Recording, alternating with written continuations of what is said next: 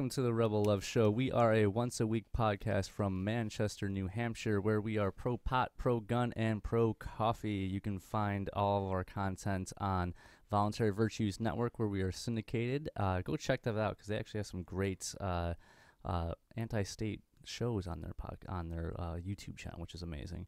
Um, we're also on iTunes, Stitcher, uh, YouTube, and of course uh, Facebook.com and RebelLoveShow.com. I am Rob Mathias, And I'm Shire Dude. and today our lovely guest is none other than the uh, Dr. Frank-N-Furter What? of the Shire, the one and only Amanda Bouldin, the foundress. You know his character is completely evil. Like he controls and manipulates and takes advantage of everyone. You are running for office. Am I wrong? Okay, fine. Yeah, you got me. All right. Uh, anywho, um, first, before we go into the show, as always, we have some uh, announcements to talk about. Keenevention is literally in one week, not one week, in a couple days, in the end of the week right Yeah, now. Yeah, this weekend. Yeah, yeah. So, uh, God, my mic. Oh my God, I might have to. There, there's an announcement right there. New I new know. mic cord coming soon. New soon. mic cord coming soon to the Rebel Love Show. Um, Send Bitcoin. yeah, Yeah. some Bitcoin. Help us, please. uh, anywho, uh, Keenevention's uh, at the end of this week. Uh, we all have panels to discuss. Considering you are as our guest here, what panel are you doing at Keenevention? Charity. Charity. Oh yeah, I saw that. That Who's looks on your. Who's on your panel? Dale Everett, Stephanie Murphy, and Teresa. E. Yeah. yeah, that works. I, her I always forget how to pronounce Facebook her. name is not her real last name, and I don't remember what her real last name is. Well, your Facebook Oh, name isn't your real. Teresa f- Earl. That's her name. Your your Facebook name isn't your real name either. Right. Yeah. So that's kind of like the status quo here. in the- Names, you know, names choose you. Whoa. Wow, that's deep. I can understand that. Yeah, that's that's really deep. Um, what has Dale done in? I, I I understand what everyone else has done on the panel and charity. Oh, I, I'm not Dale familiar with his charity or. Yeah, Dale. Well, Dale used to live in Keene, and he spent a lot of time volunteering there, um, doing charitable stuff. Oh, So I. I now d- that he lives in not know. Manch, he does different stuff with his time. But um, yeah, Okay. that was he was kind of on the forefront of that sort of activity in Keene back in the day. Okay. You'll have to go to the panel if you want to hear more. Yeah. And Yeah. well, speaking of, what is your panel, Shire dude? I'm on the New Movers panel with uh, Selfie the Outlaw, and uh, it's going to be a lot of fun. I don't understand how she is the moderator of the new. we were just Movers talking about this earlier. I was talking about this with, some, with somebody uh, because she didn't technically move here for the Free State Project. Like I don't think she signed the Oh no, she definitely did not move for the Free State Project. And- obviously. and she's moved away now. But of course, this panel was decided before that all happened. I don't, I don't even know who that is. you, Selfie wait, wait, the Selfie Outlaw? the Outlaw? Selfie? Yeah. Her, her, I guess her Sophie? real n- No, name is Selfie, uh, like, you know, Josie. Selfie. yeah, Oh, Josie Wales. yeah. Yeah. Oh, okay. Like that's her new name is Selfie the Outlaw. That name actually chose her. There you go. Yeah. Yeah. Um. but Yeah, I don't know how she's. I don't get me wrong. I love Josie. She's amazing, uh, except for the fact that she moved. But uh, I don't know how she's doing a new movers panel for someone who doesn't live here anymore. That just doesn't make any sense. But anyways, you're on that panel, so uh, hopefully uh, you'll have fun talking about. You know what you could bring up, like you know, and there's here's how you stayed, here's how you don't stay. Like you can bring that up in conversation with her on the panel, like what caused you to move. Just call her out during the panel. That'd be pretty funny. Yo, you should, man. Make a name for yourself. Call her out on the on the panel. Um, anyways, I'm going to be doing a. Uh, I'm on two panels. I'm on the direct action panel. Teresa's on that as well. Uh, so is uh, I know it's Garrett's panel and a bunch of other activists on that as well. Uh, and then right after that, I'm back to back, man. Right after that, I am moderating a secession panel with uh, uh, Daryl, Lauren, Conan, and Jason Sorens. I'm last second, but Jason Sorens is on my secession panel, which seems That's Almo- crazy. yeah, yeah. Um, the founder of the Free State Project talking about secession at Keenevention. That seems like uh, my, uh, uh, you're smiling at me weird, like you want to say something. People worship him like he's a celebrity, but they're really chill, humble people. I mean, Oh, he he wrote a paper. He had an idea, but he didn't move you here. You moved yourself here. No, no, You're no. a celebrity too. I mean, as much as he is, and you know, he only moved here recently. Yeah, I know. I moved here before he did. Yeah. Um, that that's not. No, it's just the fact that like he he doesn't rep. He's, he's sometimes he's like the uh, poster child for the Free State Project. I understand the Free State Project is not a secessionist movement in any way, shape, or form, but it's, It's, a nonprofit. oh, that's it's right. A, it it's a nonpartisan nonprofit. I don't know. Non non non things. non. It's not anything. It's, It's- a bus. It's it's like nothing. It's it, it's just it's like a it's a sign on a Bitcoin website saying "Move here." yeah. That's pretty much all it's a it- it travel agency. it's a travel Yeah. agency for anarchists. sunny yes. New Hampshire. Yeah, there, there you go. well, a- at any rate, the poster child of the uh, anarchist uh, destination travel agency is going to be on my panel. So that's cool. Uh, so into the the meat of the crux of you being here, uh, Shire sharing. What what is this about? I've never I have I haven't I wasn't here for last year, so act as if I have no idea what it is. Well, I moved for the FSP in 2009, uh, September of 2009, and then in f- February of 2011, my dad called me on the phone and told me that he had been diagnosed with leukemia. And I moved from Texas, so I was a good 2,000 miles away at probably one of the most intense moments in my adult life. Um, and two months later, he died. Um, and I I did make it down there in time for that. I guess that's I don't know if that's a good experience or not, but it was meaningful to me to be there when that happened. And um, you know, your typical grief and loss, uh, trouble sleeping, all that stuff. And by October, I guess I had gotten to a more stable place emotionally and I realized that Thanksgiving was coming. And my dad, for probably 10 years before he passed away, had spent every Thanksgiving delivering food to families in need all over Dallas. Um, the first year that he did it with my stepmom, he delivered to only one household, and before he passed away, he had grown to um, like 250 to 300 households. And over time, he roped in his friends and coworkers and um, dragged me along in the car at like 8 a.m. on a Sunday, which is a horrible time to be awake when you're a teenager. Um, so I grew up around it, and um, so I started thinking, sort of wondering if in his absence anyone was going to pick up the project in Dallas. And then I thought about how Free Staters out here, which make up the majority of my friends, value privately funded voluntary charity. So I talked to um, a couple people about it. Believe it or not, I was nervous about the idea, and I got good feedback. So I posted to Facebook about it and got a really big response and people were really interested in volunteering, donating and, you know, participating in any way they could. So in about 2 weeks time, about over a thousand dollars was donated and we delivered food to about 50 households in New Hampshire, all of them in Concord. And then um, a year went by and um, I was sitting in Church of the Sword and You know, I've actually only gone to one Church of the Sword, and that was at PorcFest. Oh, well, that one's different than your normal. It's fun. Oh no, no, I haven't. it's I actually haven't gone to the normal. You drink beer at 11 a.m. I've Yeah. I've never been. Can you describe it a little bit more for people Church of the Sword. Um, it was established by Kevin Bloom and Kirk McNeil, some really active free staters here. And at Church of the Sword, let's see, Pedro goes a lot, right? Yeah. Are you a minister, Pedro?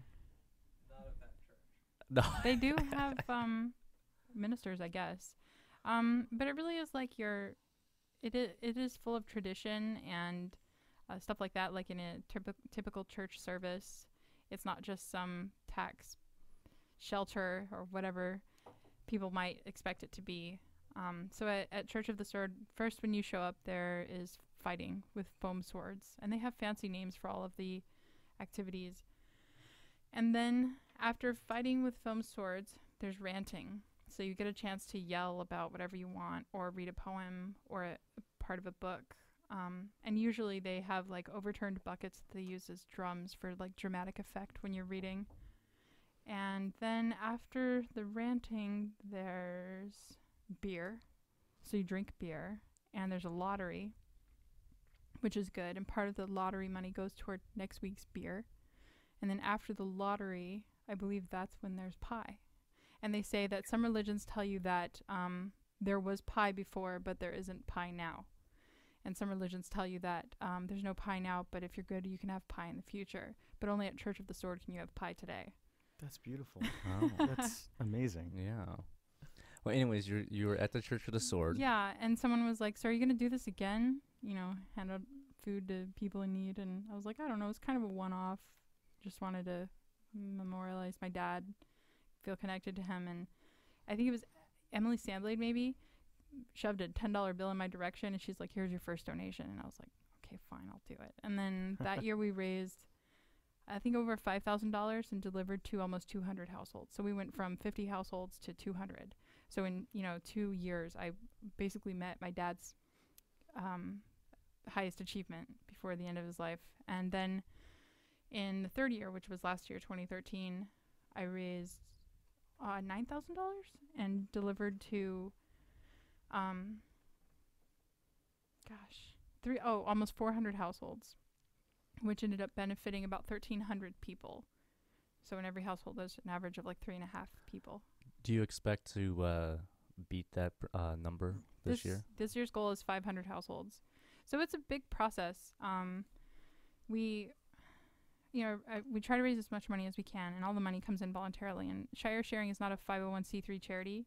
513c. I don't even know what the I- letters are. I don't. Even I haven't filled out that yeah. paperwork, but so the result of which is that uh, people can't deduct the donations from their taxes, so they they get no, I guess, uh, tax benefit. Yeah, there's yeah. no monetary incentive to donate to Shire Sharing. So, uh, despite that, we have continue you know t- continued success, growing every year, um, more volunteers every year, more donations, bigger donations every year. To what do you attribute that kind of growth?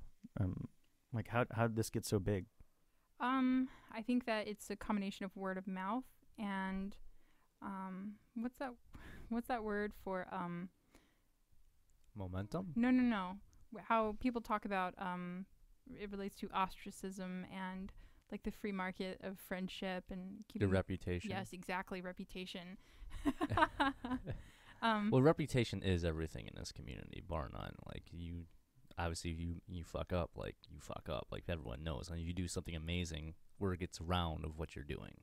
So I can understand how reputation has definitely affected shire sharing. Yeah, and every year I've tried to rope someone into making a video, like doc short documentary about the entire process from beginning to end because I know that it's important to people that donate uh, to be able to see the results of their, you know, hard-earned money.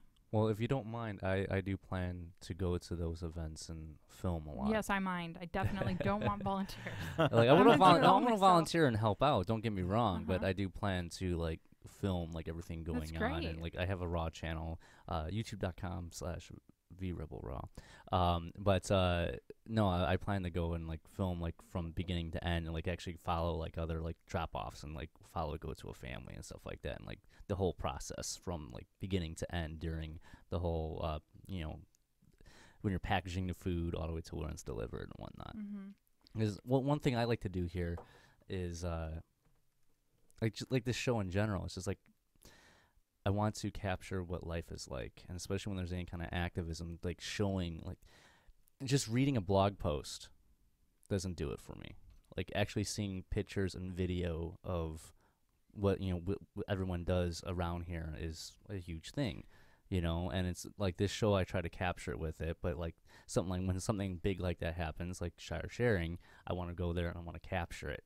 I don't want to like you know it's almost like sometimes I almost view a YouTube video as a current day or a modern historical document. Like imagine like a hundred years from now, like you know people will go back and they'll look down and they'll see like you know it, it, it's you're documenting what happened and like even if it's just you know even if it's just uh you know a charity organization, you're you're doing a charity outside of the state and you're showing that like libertarians aren't selfish. You know that And anarchists aren't general, selfish. aren't- Yeah, yeah, yeah, it's like they work. you know, especially in New Hampshire. Exactly, and you're that's not something that's talked about. That's not something that's like you know it, it is in amongst us and whatnot. But I mean, hopefully more people see that. Uh, but I mean, most people consider people who oppose the state as very selfish and you know full of themselves and not you know caring about other people.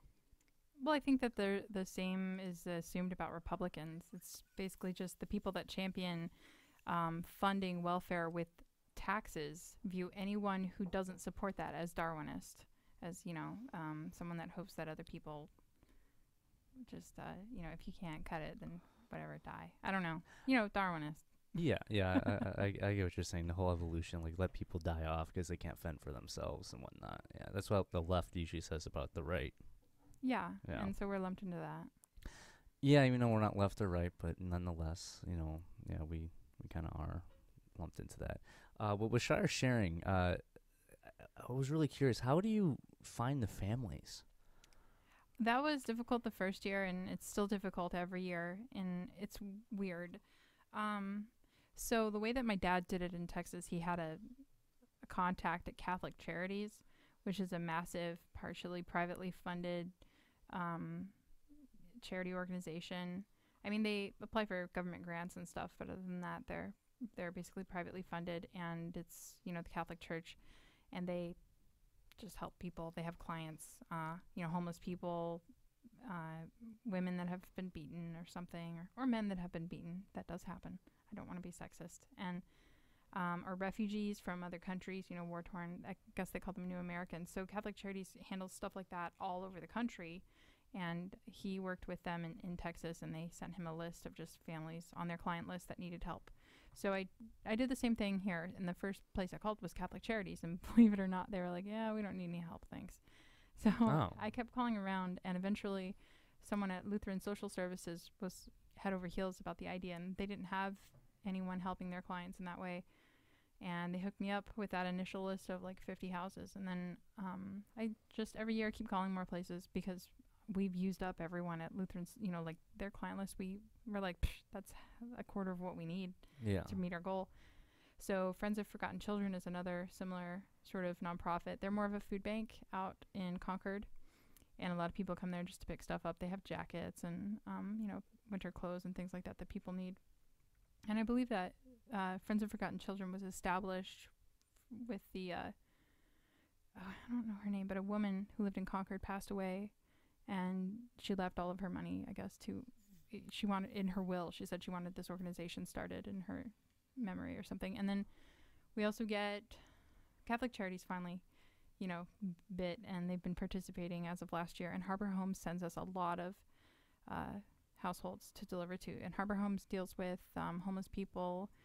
Um, or like precariously housed is what they call it, like someone who's really couch surfing or living in their car. They're not technically homeless because they're not sleeping outside, but and they also deal with veterans, a lot of veterans. So that's really pleasing to me because you know I don't support the war, but I do support the troops, and I think that a lot of people were lied to, to join the to get them to join the war. You know they suffer from a lot of um, emotional and physical disorders from having participated in the wars that we've had in this country over the last hundred years, Yeah. and I want to be able to help them um, in any way. Well, it's it's definitely admirable. Um, how many, how much uh, hours do you put in on this? Five million bajillion. Like it- it's not like just like don't listening to you count. talking about like all the charities you've contacted and all this and doing that. Like I, I I'm just like curious like how many like literally hours of like com- you know talk just calling people that uh, that you've put in. It has to be into like close to a thousand. I don't know. I don't keep track, but I'm lucky to have had a job for the last several years that allows me to spend time not doing my job. So I've had t- two different jobs over the last couple of years, and both of them have that flexibility in them. I don't have to take time off of work to accomplish these tasks. okay. Um. All right. So, uh, where can people donate to Shire Sharing? Uh, so the website is shiresharing.org, and it's Shire as in the last five letters in New Hampshire, or the first five letters in Shire Dude. Um, and so it's S H I R E sharing.org.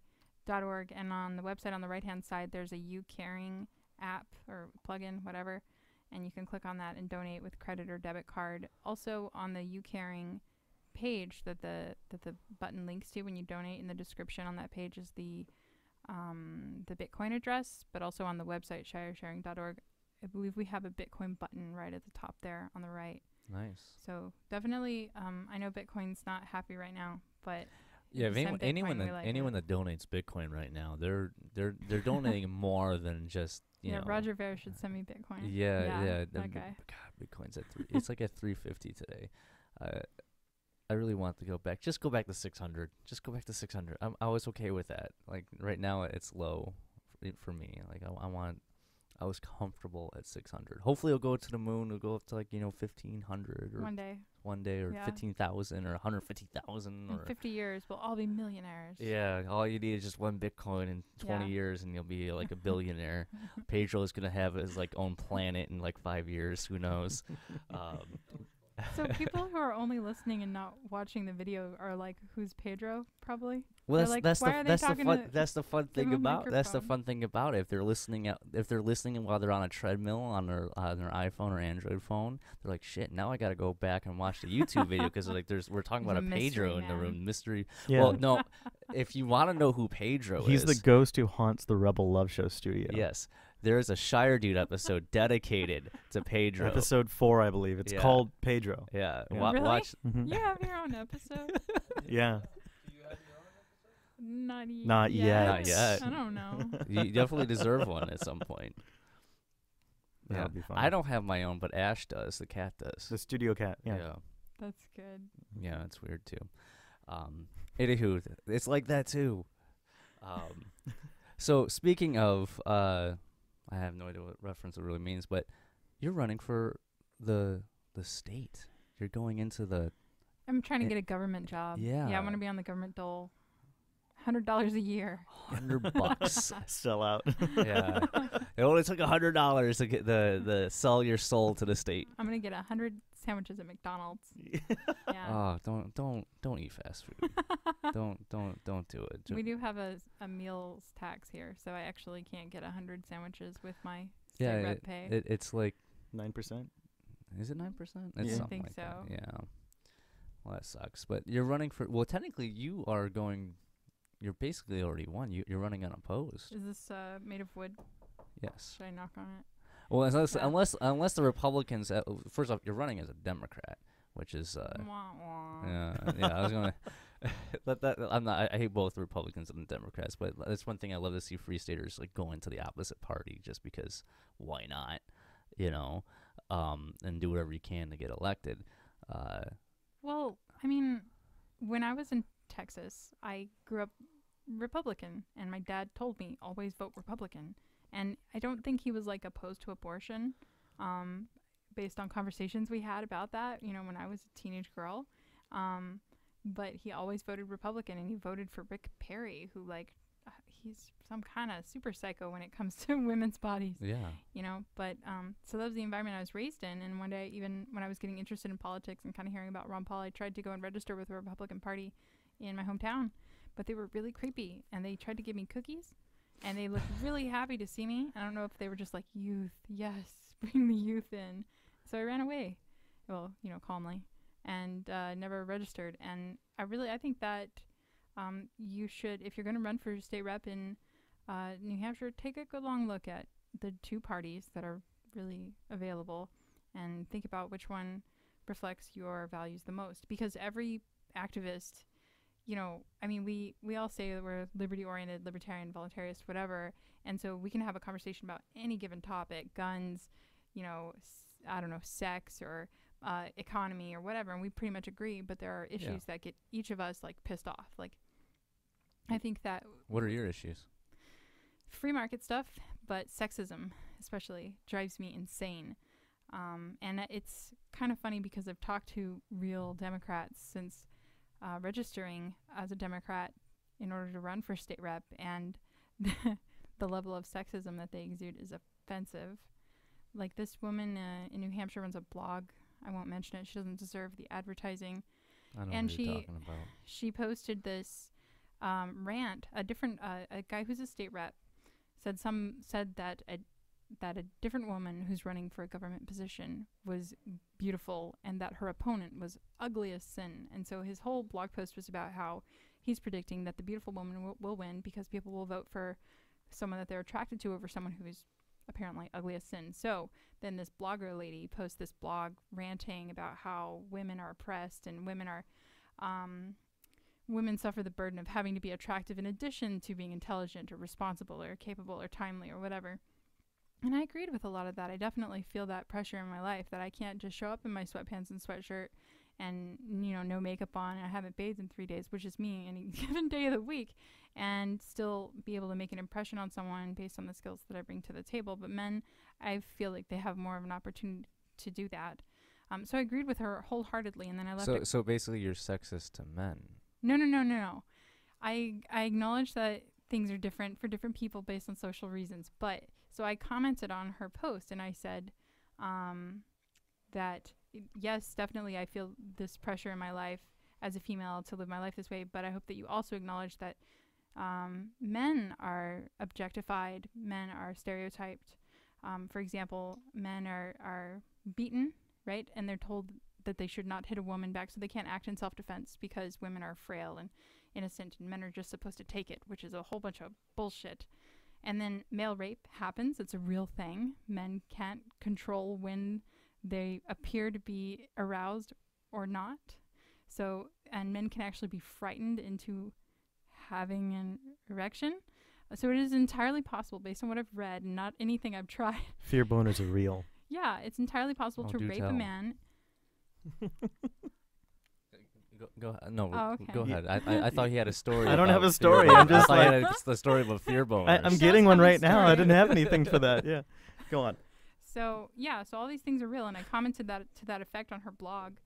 Um, you know, and I said that women can set an example for men who are who are stereotyping and objectifying women, and also women can set an example for future generations by treating men as individuals, not making assumptions and not collectivizing them. She posted my comment because she likes to police her comments a lot, and then told me to take my uh, drivel elsewhere. And she posted in all caps something like, "What about the poor men?" So she was like really offended that I said, "Yeah, you're right. This happens to women, and you know what? Stuff happens to men too. Men aren't treated as individuals; they're collectivized." And she thought that was just like, "Who cares?" That was her reaction, which is feminazi at its peak, and that is disgusting. Well, the question is, how are you gonna change that in the state house? Oh, pff, I don't know.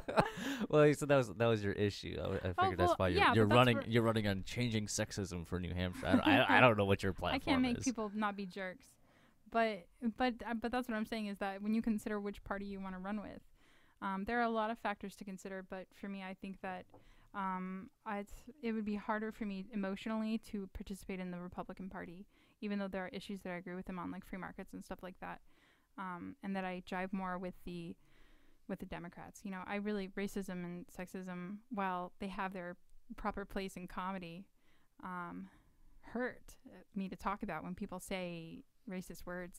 I don't even want to hear it. So I think that I fit in better with them. They don't think that. They want me gone. Yeah, I, I But was that was how I made I- that decision. Yeah, I hear you on the whole racist. One thing I love about like at least at least with this community, and like most libertarians and voluntarists and anarchists, whatever you want to call yourself. Um, one thing I, I, I love about most most people that I've I've met uh, is they really do treat people as a human being, as an individual. Like it doesn't matter who you are, where you come from. Like you know, it doesn't matter your background. Doesn't even ma- none of that matters. Like to me, you're you are a human being. You're you know just like ev- me and everyone else. I don't care that you're female or male or transsexual, gay, bi, or dare I say poly, but uh, Or pansexual. or pansexual. What's that? Oh, that, that's that's this that's guy. when you transcend gender with uh, your how you like people or whatever. You don't even like So, like, consider dogs gender. too, in it. or Um, I don't think that includes dogs. what about the the cat Ash? I, mm, it might I heard include Ash- Ash. like to. It Ash- includes Ash. Ash, is yeah. kinky. Yes, for damn sure. she loves being like. Ash is definitely a Yeah. pansexual kitten. But go on. She, yeah, she is. No, she definitely, definitely is. Yeah, yeah. Um, but no, like at any rate, like we we all treat e- everyone as an individual. We don't. I don't. I mean, we're all human beings on this rock that's floating around a star. You know, Earth's my homeland. I don't get. I don't care where people come from or what they look like. Um, unfortunately, Republicans don't really view people that way. Conservatives don't view people that way. Um, Well, people are Democrats just- are better on looking at people. Well, a little bit better. I mean, for, for the most part, there's a lot of Democrats that are very racist. I mean, look at the Dixiecrats in the South from you know the turn of the century and whatnot. They have. Democrats in the South. Not anymore. they did. I mean, there's this one pocket in Dallas. That's it. It's like a, it's just a bad yeah, yeah. But so you're you're going you're going in. What what? Because you're I I want to I want to label you as the new Mark Warden. No, you don't you don't want to be like that. No, that's uh, nope. He that's a a lot of esteem there. I don't deserve it. Mark Warden's an amazing, Okay. accomplished person.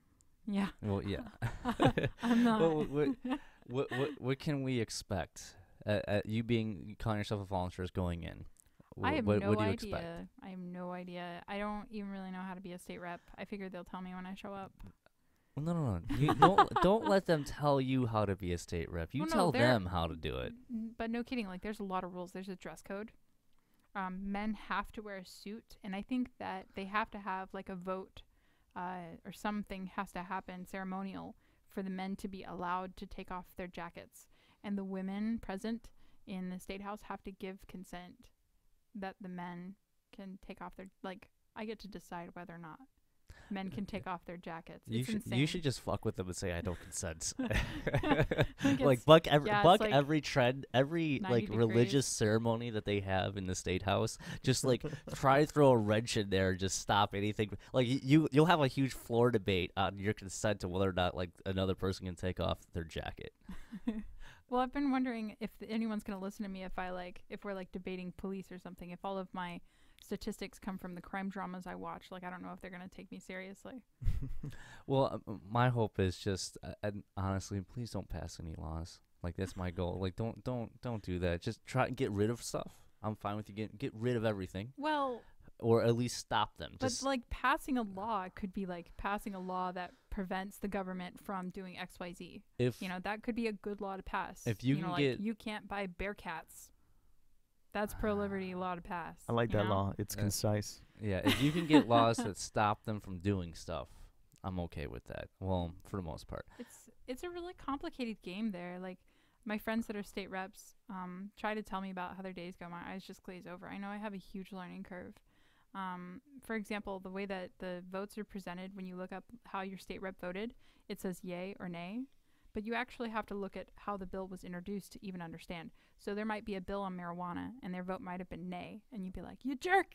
You voted against marijuana," and then they're like, "You're you stupid citizen. You don't know what's going on." And the bill might have been a bill to, uh, th- it might have said like, um, I guess they have the committee recommendation is either inexpedient to legislate or ought to pass. And so the committee recommends a certain stance on the bill. And then when it reaches the state house floor and they vote, um, they're voting yay or nay against the committee's recommendation. So the committee might say that a marijuana bill is inexpedient to legislate. And then if you vote nay, you're actually voting in favor of marijuana legalization. It's really confusing stuff. So it's like seriously, I don't know how to be a state rep, and I'm sure they'll tell me. Well, I'm, su- I'm sure you'll figure it out when you get in there. Um, I would love to see. Uh, I'll I'll put my minarchist cap on if you can get full on uh, pot legalization through. I'll, I'll I'll be supportive of you in, in that endeavor. Are you not currently supportive of people running for state rep? Uh, How's, I okay. how's the I- I- how's your little I- thing going? Where you how you live your life? Is there still state in your life now? Yeah, yeah, yeah. you like yeah, pay yeah. taxes and stuff. I try not to. so so do like, what's gonna happen if you don't pay your taxes? Well, they'll come. on- They'll come with men with costumes and guns. Will come to me and kidnap me and throw me in a cage. I'm well aware what will happen. So if we have a i- if we have a, a good majority in the state house that pass a law that or a, they repeal a law so No, that your no, taxes no, are look, lower. Now, now look, look, look. Hear, hear me out. Hear me out. I, I've said this. I have. I've actually said this before. Like I will. Sec. I- I won't vote for uh, national politics. Like y- I, I am going to vote in the election, and it's just going to be for free staters and maybe a couple other liberty-oriented candidates. good. But, um, other than that, I like any other any other offices. I'm just gonna write something in or just put none of the above or something like that. You should write like Daffy Duck. Yeah, I don't know. yeah, Vermin Supreme. Write him in for everything. yeah. He's a great guy. yeah. He is. So, and well, the big thing is because obviously I, I'm an advocate of secession. I'm not trying to say that you're a secessionist, but liberty oriented people dislike the federal government, and even if they can like at least nullify laws, I'd be happy with that. So the only way that I can like see a change like that it was be more liberty oriented people in there. I'm not against free staters and liberty oriented people running in there as long as they have like the ideology that they don't own me. You know, that they can't uh, write a law that tells me how to live my life. Um, unfortunately, Democrats and Republicans, like the normal Democrats and Republicans, you're obviously not a, a normal one. You actually don't believe that anyone can tell I'm another as much person. a Democrat as anyone else is. I'm just not um, with the establishment. I'm not kidding. You talk to your aver- a random Democratic voter, and um, they're not. They don't. The establishment of any party doesn't really reflect the the people that signed up with that party and try to vote with that party. We really like the way that voters are. Like a voter's going to have a strong opinion, just like any free stater, right? Or a libertarian. A voter's going to have a strong opinion about the death penalty, or a strong opinion about taxation, or a strong opinion about welfare or immigration, and that's Is- their only issue. And then they look for the party that agrees with them on that issue. They register with that party and vote with that party because they're like, I don't want the Mexicans here, and so they they have to vote Republican. Do you believe taxation is theft? Yes. Okay. Yeah. I'm- No, I I'm- don't know. I don't know why you're doubting me. no, okay, well then, well, then you're good. No, you're but, fine. but That's I'm that's just that's clarifying. thing. Yeah, yeah, I'm yeah. as much a Democrat or a Republican as any of the Republicans or Democrats are. It's it's meaningless. Um, I think that I guess that the whole point of having political parties is so that um, the people that, that uh, I guess to make it easier on voters to identify um, candidates that agree with them on issues. But it's all BS. It doesn't really work that way. Um, that's why politics is such a convoluted game is is because we have these two parties. Supposedly, um, everyone in each party uh, agrees with the the platform, but you go to like the the the the big thing that the Republicans have, where they all yell at each other and like delegates vote and stuff. What do they call it? I don't know.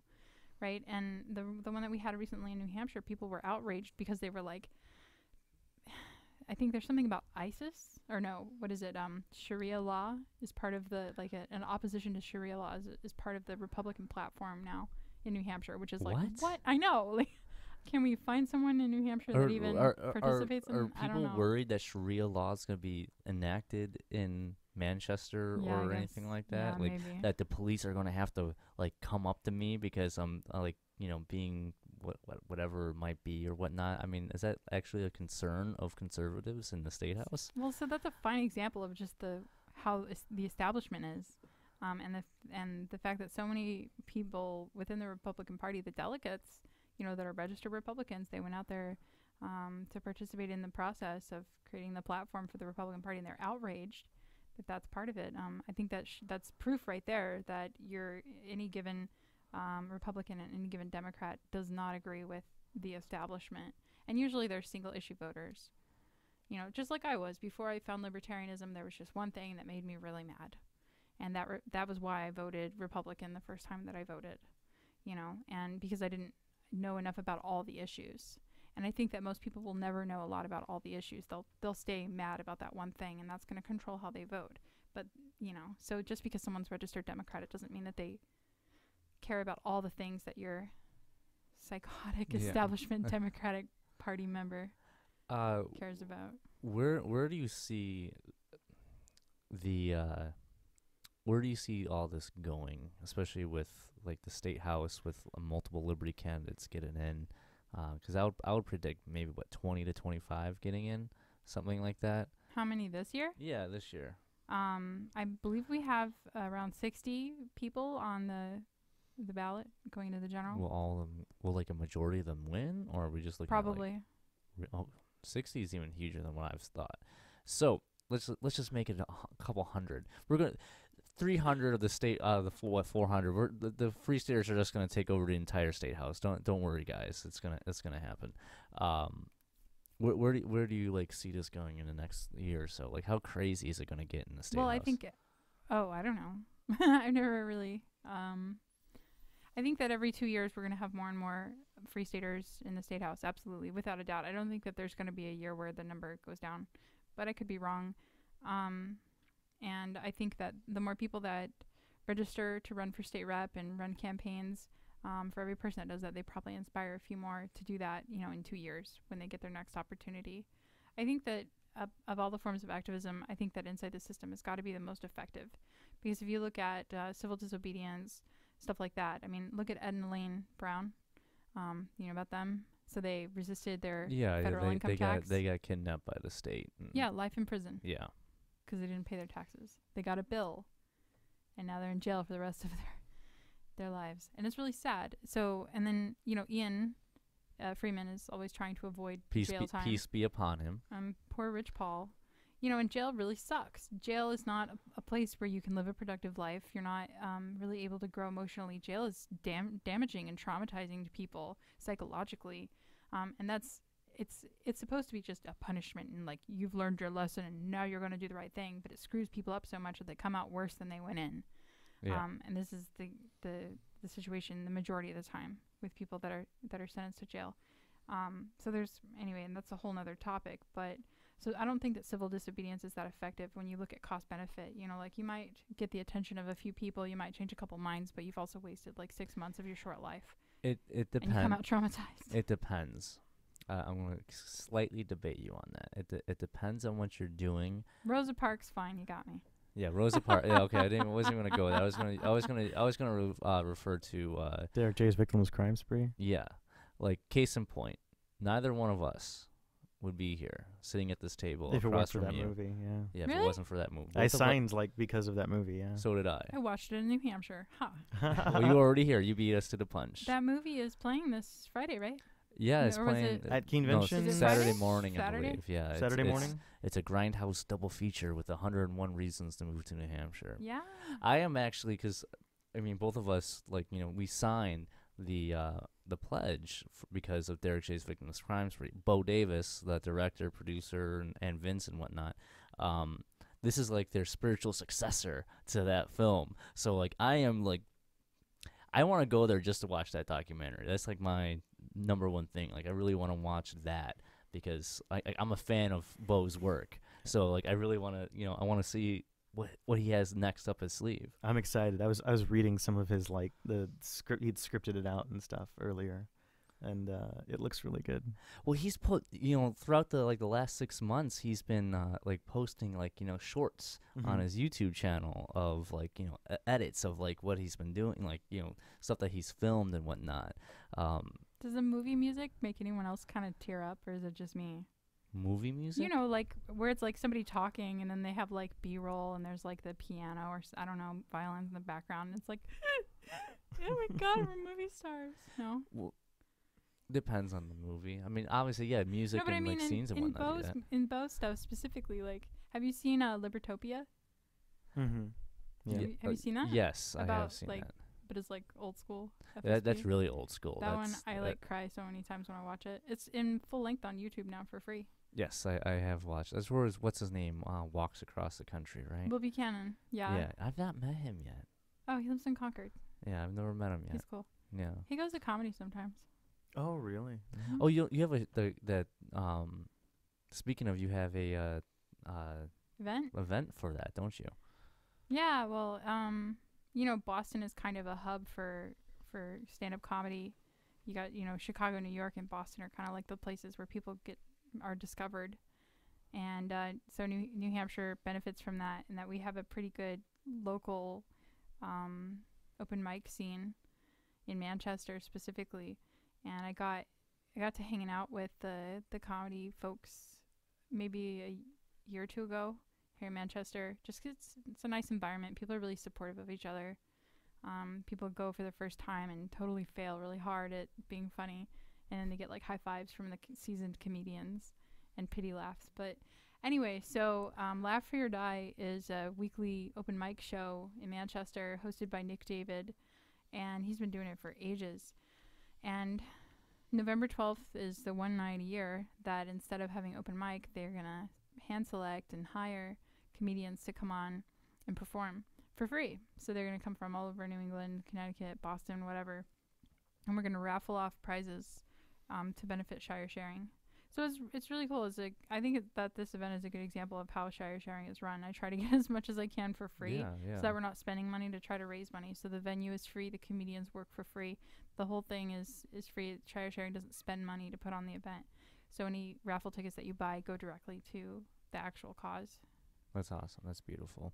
Uh, Shard, when are you when are you gonna do stand up comedy? You're you're like a comedian. I was wondering. I don't know how good I'd be at at, at stand up comedy. Like, I really like video editing. I like that that medium. Um. Oh man, I think I, I if I tried to do stand up comedy, I'd end up sounding like Chris Cantwell doing stand up comedy. It can't not- be that How- bad. Which is- yeah, that can't be that bad. yeah, I are don't you know. advocating for needless violence? Um, I I would, but I'd try to be funny doing it. so it's hard to find that medium. it's that's, tough. That's definitely a, a and it, it's also tough like um producing something um from a liberty perspective you know it you'll alienate a lot of people right but then people are expecting liberty perspective out of me Yeah, that's kind of that's who no. you are. Most comedians are libertarian and they just don't know it. hmm. well, most I'm people in serious, like- general are. and They don't know it. Yeah, yeah, but I- but I also think that um, a co- a lot of comedy is driven by like an awareness of the absurdity that surrounds us, and I think that libertarianism is kind of in the same wavelength. that's a good point yeah That is very true. Uh, well, you could always talk about how libertarians are very socially awkward. Oh yeah i could do that the awkward thing Yeah, Hmm. yeah. Like I don't know. Like everyone here is a little socially awkwardly No. off. Yeah. No. No. no, no. like everyone's normal. Like there's just normal people. Like everyone, everyone you meet is just very, s- very normal and whatnot. No, ev- everyone's crazy here. Yeah. Everyone's crazy everywhere. Yeah, no, that's kind of true, but it's more true here than anywhere else. Probably. I don't know. I've I've met a lot of crazy people since I moved here. Maybe Good people. Don't get me wrong. Great, great, great. You know, people just socially awkward. I mean, I'm probably one of them too. So whatever. Aren't you trying to sell people on the FSP? yeah, You're like, no, I'm trying to tell. Everyone here is super weird. They're gonna wa- I- make you feel uneasy when you Yeah, meet they them. they can be they can be he, they can come here and be weird with us instead of being weird by themselves. yeah. Yes, That's a good absolutely. point, yeah Yeah, if you haven't left your house in a week because you're playing World of Warcraft and there's a pile of Red Bull cans on your desk, move for the Free State Project. Uh, I, I don't want the I don't want the WoW people. No, they should come. no, no, uh, no. you just they- you just blew it. They're did I they're blow it? listening right now. They're listening while they're- while they're playing World of Warcraft? Yes. Do people still play World He of Warcraft? He smashed That his Red came Bull like can on the tw- table. He's that came, mad. it came out like 15 years ago. Are people still playing that? I don't know. I don't know. and right now he's freaking out because you're narrating exactly what he's doing They probably are still playing. now they're probably looking at know. themselves like, "Oh my We haven't seen god. I am still playing this after 15 years. Maybe I should leave the house." he's running around like that movie stranger than fiction like how does he know all these things about me okay anyway. God, it'd be amazing if that actually is the case at some point. Um, but no, I'm I'm not gonna sugarcoat it for people. You know, that's you know, be weird with us. We have a lot of fun though here in the, the Asperger State Project. It's, it's great. Make the move. yeah, make the move. There's bacon. There Yeah, is we lo- have- oh I mean, god. if we're gonna be stereotypical, there's bacon, there's beer, there's Asperger's, there's beautiful women, there's yes, there are. people living in their cars, but they but they're like buses. You They're- know, they're like not in- buses. They're not a buses. Yes, exactly. Yeah. People that live in tiny houses. People that live in domes, like dome structures. It's, you know. It's a little specific. There, yeah. There's people that live in, in private clubs. Yeah, yeah, I've heard of that. the Yeah. Underground Yeah, underground private clubs. that everyone knows about. We're so secret. Yeah, it's very, very secret apparently. Um, anywho, uh, is there? Uh, oh, one. There was one other question I want to ask you because uh, you have kids. So Just one. just one. I Yeah, thought you had no. two. No, I usually have around five. Yeah, I always see you. But I- I've just seen a you with social multiple kids. I butterfly. just assumed. I, I, I wasn't. No. Oh, what what's it like uh, raising a, da- a daughter? Right. Yeah. Okay. What's it like Her name's raising? Sophia. Sophia. She's eight. Okay. She's been here since she was three. Okay. Um, what is that like? Well, I can give you an example. So, um, when I lived in Texas and I had a kid, I didn't know who to. I don't know who to hang out with. You know that also has a kid, and I had a friend from high school who um, had a kid around the same time I did, and we got together and. Um, so our kids played together. They grew up together, and when she, when my friend didn't like what her son was doing, she would hit him in the face, and that was hard to deal with because I respected her as a person. I still do, and I like her and she's my friend, but I just couldn't cope with like how she was raising her kid. And I kind of realized that um, maybe the difference between the two of us is that I had given a lot of thought into how I would raise my child and what I thought would be effective parenting versus in you know like have parenting that creates a serial killer. I don't know.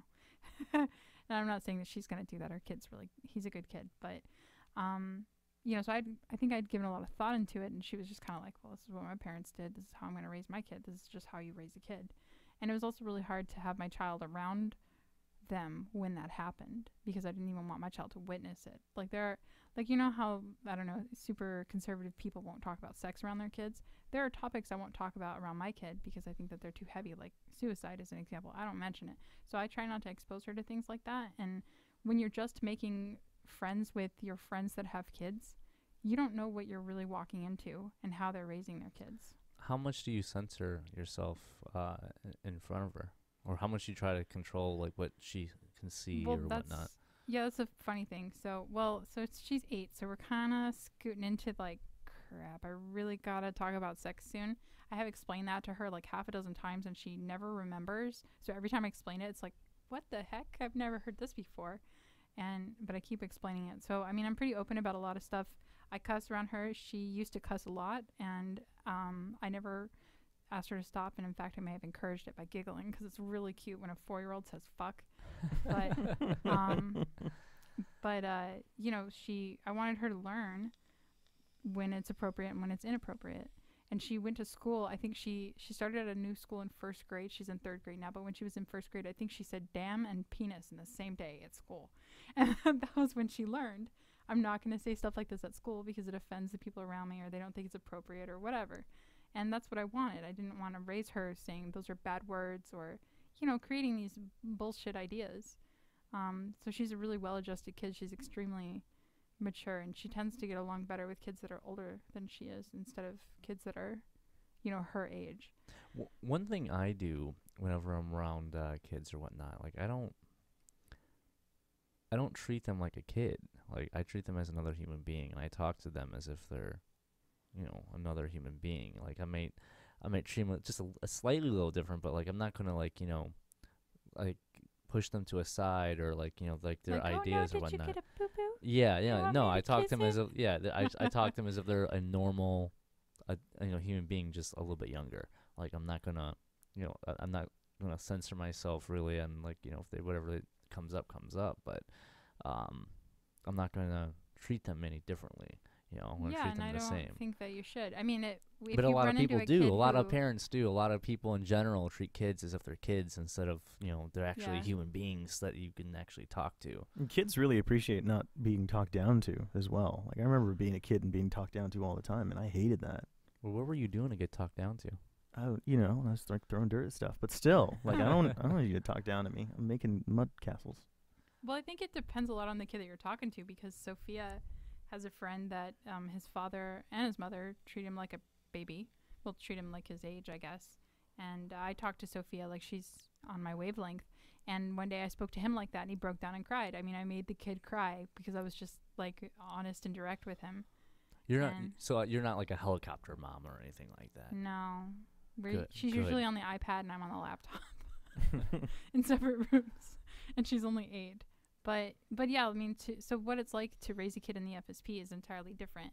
I'm not like, well, I know you and you have a kid, so let's get them together and have a play date, and then you don't know what you're exposing them to. It's the opposite. It's like I know you and I know what you stand for, and I have a at least a minimum uh, standard that I can expect you uh, your behavior to be.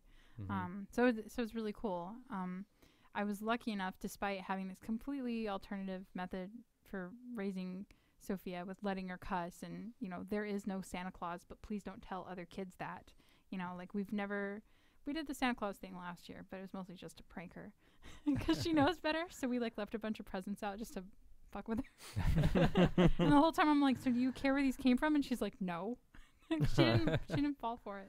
But anyway, so I was lucky enough to meet some people in New Hampshire, my friends the Garcias, and they raised their kids, their two children. You probably see me with them a lot, the same way that I raised Sophia. So we don't have conflict where they're doing something and I'm like, oh God, I don't want Sophia to do that or see that. And I'm pretty sure that I don't do stuff that terrifies them. but Yeah. if I have, they haven't told me.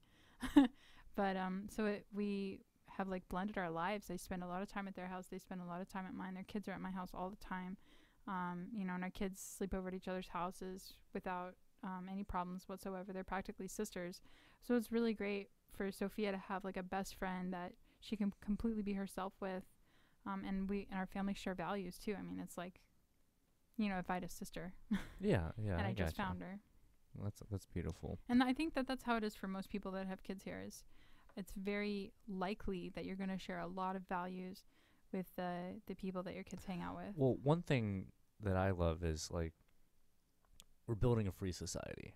All right, like I, that's how I view. I view this as you know we're not just like coming here doing some activism or whatnot. Like I, I really do view it as we're trying to build a free voluntary society, like inside a prison almost, like inside of like a you know we're we're trying to build this free society, and we need kids. We need to populate the the society, you know, and we're only going to do that if there's more and more liberty babies and more li- you know What more families. Stefan Molyneux says, right? Is that he encourages people to raise their children in like the least oppressive method possible, so that when they do encounter oppression for the first time in their lives, they'll be so outraged that they'll Y- become they're, activists. They're not they're not domesticated into it, you know. They're not uh I mean, right now, most families, most kids are d- being domesticated into the tyranny that we're under, and if we can like stop that now, and then mind you, I want to live free now. I, I don't want to wait for. I don't want to be you know 90 years old when the next generation takes the reins and you know actually frees everybody. Like I want to be free now. That being said, I, I view kids as like the you know the the backup. You know, they're they're like the back. They're they're Plan Mm-hmm. they're- B they're or phase they're, two. they're phase two of it. You know, like it's a, it's a perpetual thing going Plan on going no forward. kids. Yeah, that's true. That's true. Um, That but uh, yeah, yeah. But at any rate, like yeah, they're they're the next wave, and we need another. We need to propagate ourselves in in regards to people thinking freely. You know, the, the state's always going to try and program kids and domesticate them and whatnot, and we need to be able to have another phase, like the the to do what we're doing now. And that's another beautiful thing about like my story about finding the Garcias and you know connecting with them is that um, I think you know I guess in psychology it's pretty standard to expect the kid to totally rebel against what their parents stand for. So I might you know Sophia might agree with me now that she owns her body and gets to decide what she wants to do with it, but for all I know she'll sign up with the Republican or Democrats one day when she's 18 and you know she'll become some I don't know a a global warming activist or something terrifying like that. And but with her friends there to reinforce her as she grows you know like it, we all share the values together. She isn't just hearing her crazy mom spouting off crazy Yeah, stuff that yeah. and she knows no one else agrees with it. Instead you know she's not just going to school alone like sophia won't wear her gadsden flag t-shirt to school. She won't say free state project. Walt havenstein a, a candidate for governor came to her school to like i don't know look cool on tv or something and uh, try to get votes from the students parents. And she was chosen among like a small group of students for a roundtable discussion with him and i was really trying to get her to ask him if he's a free stater because it's really funny because he's from out of state but he's not liberty at all. And she's like i'm not saying that you know so she's aware that there's this the, she has two lives she has she can cuss at home you know we can be ourselves at home and when she goes to school she needs to participate in that world but with her friend michaela there to share that with her that we have two lives I don't think that Sophia's gonna. I, don't, I think that the odds are lower that she's gonna grow up and just completely rebel. I I never imagine it'd be um 'cause I always feel like when I go into my my day job, like I'm I'm living a double life. Like I, I live this life, and then I go to work. And I'm living, you know, I'm. It's a double life. I don't talk about. You never imagine an eight-year-old having two. I never imagine an eight year old like having a double life. Yeah. Like you know, like the kids in the project, like also having to deal with living a double life. Like I never, I, that never crossed my mind that you know that that is an issue, even in like you know grade school or whatnot. Um, that they're actually, you Well, know, Sophia having to just- go through that. She's never had any problems, but she anticipates. I mean, she listens to our adult conversations where we talk about our daily lives. You know, I don't. I'm. I, I don't really whisper many things outside of her earshot, so she knows a Yeah. lot about the kind of activism that we do, the reactions that we get from people that are opposed to freedom. As as she should. so yeah. you know, she's careful. Yeah, You should see her at PorcFest, man. She walks around the place like she owns it. that's awesome. Like the last, uh, let's see, in 2013 and 2012, I gave her a walkie-talkie to try to keep track of her. Both years she lost the walkie. Now she just walks around on her own. I'm like, I don't even know where she is, Well, and beautiful. she's completely safe. And yeah, she knows. And this past year, Michaela, her her our little friend, came with us for the week and stayed without her family, like the longest she gone without seeing him, I think. And um, and at first, Michaela was so nervous, and she didn't want to leave the campsite. And she's like, I don't know anyone. And Sophia, you know, took her around and introduced her to all the kids she only sees every PorcFest. And you know, before long, I didn't know where either uh, either of them were. You're such a great parent. You know, I, I, Well, I I took these kids that. to a, a to a festival of a couple thousand people, and then they just went on their own. Who knows? Yeah, yeah, we, yeah, we yeah. walked past the guy in the loincloth, and I was just like, Sophia, what do you think about that? And she's like, I don't know. What What about the guy that was being pulled by a leash? Did, did they walk by I that don't guy know. too? They probably saw him. yeah, and they they colored with chalk with uh, Manic from Keene, Mar- Mariah. oh, that's and, cute. You know, the chalk wars continued at PorcFest with the kids. Yeah. Yeah, Well, they went full Keene at, kids. at, at They went full Keene. yeah. Yeah. Uh, all right. Anyways, we're we're actually way past our time frame as it is. So, uh, Amanda, where can uh, pimp your uh, site really quick? Where can everyone donate? Oh, um, www.shiresharing.org. So it's S H I R E sharing.org. And the donate buttons are on the right hand side. And do it soon, kids, before Thanksgiving. And also, if you're in New Hampshire, come volunteer with us. Uh, join the Facebook group, facebook.com slash groups slash shire sharing. Um, join the group anyway, even if you're not in New Hampshire, because the bulk of the discussion, um, I post every little detail, all the developments in there. It's fun. Sweet. And uh, Shire Dude, where can people find you? ShireDude.com. All right. And uh, I'm at uh, vrebel.com. And obviously, this show, get it at rebelloveshow.com. Uh, get us on Stitcher or iTunes, whatever podcast platform you choose, or even watch us on YouTube. And maybe feel free and donate uh, all three of us some Bitcoin. But if you're only going to donate one this time, do it for Shire Sharing. All right. And we're out, guys. Peace. Peace. Vote for Pedro.